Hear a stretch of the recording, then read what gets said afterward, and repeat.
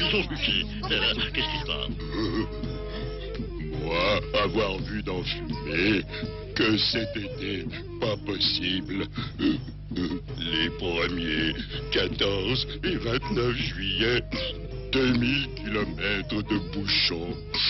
Ça va être catastrophe. Cet été, ça va être dur. Même pour Bison Futé. Oh.